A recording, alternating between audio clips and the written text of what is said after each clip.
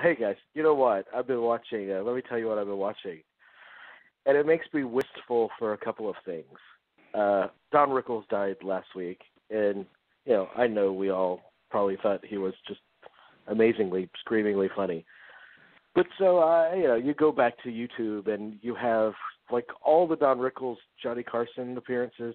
Mm-hmm. There was there was one show that Don Rickles did with Carson, and here was the panel. It was Glen Campbell, uh, Don Rickles, Dom DeLuise, and Jimmy Breslin. And so you're you're Oh, I watching love this that panel one. together. Oh my God, I love yeah, that. One. and, and and they're just like busting each other's chops, like all all five of them with Johnny there, and uh it's just amazing. Like there's no talk shows like that anymore. Like it's just so No. kind of sitting in somebody's living room, you know. Yeah. I have a confession to make. Um, at work in the afternoons, that's all I've done for the last two years is watch Don Rickles on the Tonight Show. I'm not joking. I mean, that's all I've done, and I and I've even done it longer than that. I've done it since really Carson died, and since you, I mean, that's why all I do is look for like old clips of like Don Rickles. Like, I mean, obviously the I love favorite those. one. I love, but obviously one of the the one I really loved is when Sinatra was hosting the Tonight Show, and it's him. Uh, it's Don Rickles, George Burns, Angie Dickinson, and Carroll O'Connor, and of course Ed McMahon, who he just says, "Ed, I never liked you." Um,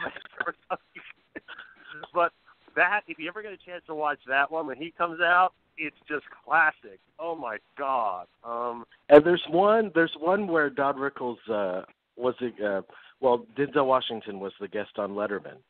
And then Don Oh, yeah, Rickles yeah. was coming out a- a- after Denzel Washington, and Denzel Washington because wanted to stick around and sit next to Don Rickles, which doesn't happen on uh, Letterman or really any talk show outside of Graham Norton and James Corden nowadays. But uh, uh, so and and Don Rickles has no idea why Denzel Washington's still out there. he, he sits down next to Denzel. He's like, "What are you still doing out here? Are they keeping you around to clean up or something?" Funny. God. Oh It's man, so great. It's crazy. Yeah, I mean, I, I, you know, I just thought he was immortal to say, you know, I just didn't think he was ever going to go. I mean, I just, I don't know, I'm, I'm sad about it, but he left so much great stuff behind. Um, Yeah, ninety years old, and he was the, he's really the last, almost the last of his kind. You know, from that era. mhm. Yeah. Yeah, definitely. And and almost like a uh like an honorary member of the Rat Pack in some ways, you know, like uh, so he Yeah. he definitely be uh, uh definitely also, you know, Shirley MacLaine was part of the Rat Pack too, so uh she's Yeah, still around, yeah. but uh um uh yeah, it's a it's a dying breed. Of course Did you know? Uh, did you know that Shirley MacLaine was almost uh almost played the Zelda Rubinstein part in Poltergeist? That that's what she was offered that part. Oh my Mm. God. Yeah, it's interesting. Which that would have made perfect perfect sense, but it it would have played like a lampoon of itself in a way. Mhm. You know, seeing how she believed in past lives and that kind of thing. But she said no to it. She got bad vibes about it. Mm. Interesting.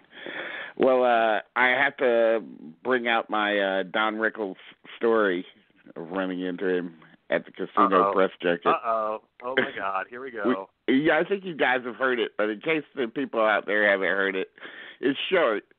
So I'm just waiting to go into an elevator at the Plaza Hotel at the casino press junket in 1996.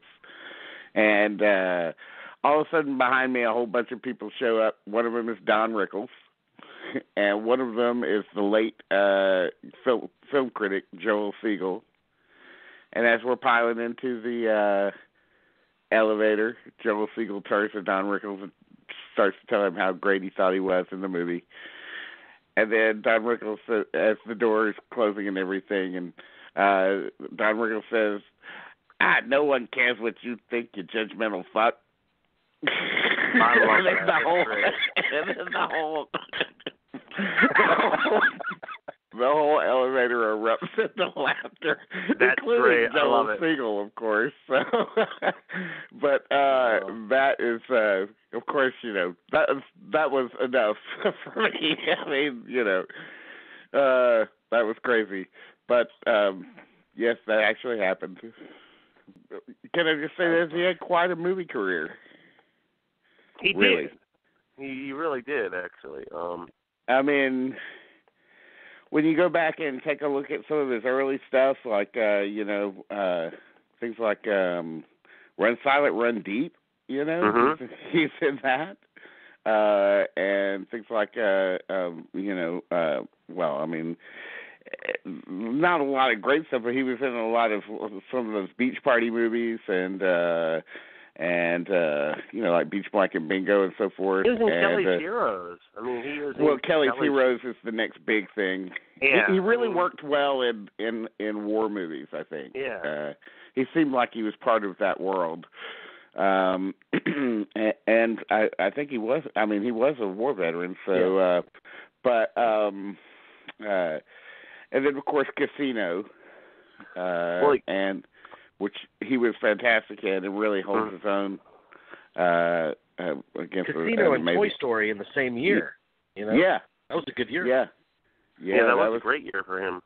I mean, just those those kinds of things, you know, and then uh of course, you know, his appearances on countless TV shows as guest as guest star, you know, on things like, you know, uh, uh Andy Griffith's show or uh uh uh even uh, Gomer Pyle and and things like that. Uh Right. Wasn't? Uh, I mean, the- he do a the- the most practical success- joke show. Was it But- yeah, yeah, he did, which with, which uh, wasn't really his Steve thing. I mean, he had Steve, or Steve Lawrence. Steve Lawrence. Um, practical jokes. the most success that he had on TV was on the Tonight Show because he Yeah. uh I mean and he didn't even understand he just could not get a TV show to to run for very long. He had so many that they tried to do to put together for him. But you know, it was hard to it was hard to harness that kind of energy in a scripted show, you know. Yeah, I, I think he worked, and also, also there's just something uh, about him. I think he worked better when he's doing his comedy. He works better at a shorter interval uh, than you know than uh, you know 30 minutes.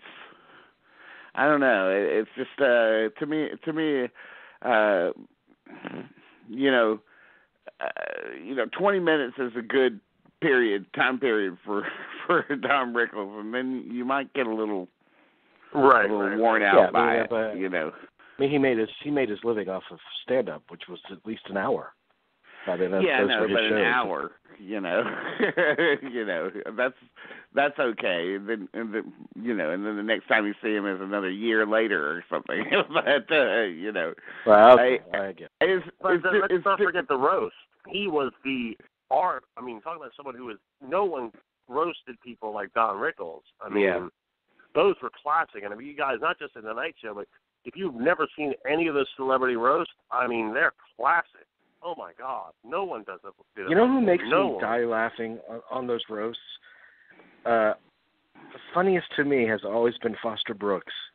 Oh yeah. Uh, oh God, yeah. Oh my God! just as he was the guy that always played drunk. That was his act.